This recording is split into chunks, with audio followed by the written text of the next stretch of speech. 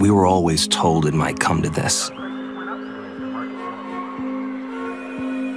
That one day, everything we ever knew could end.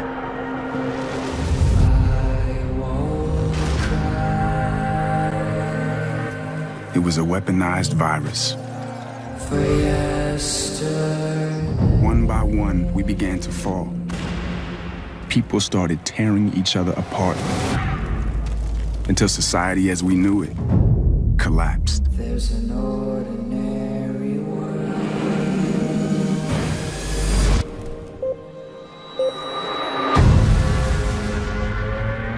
It was a signal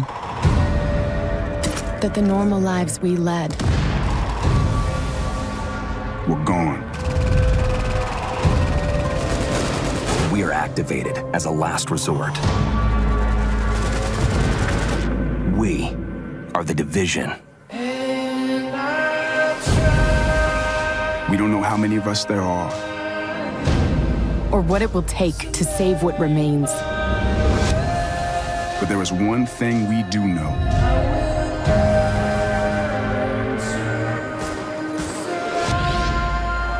There cannot be any hope for tomorrow if we don't fight for today.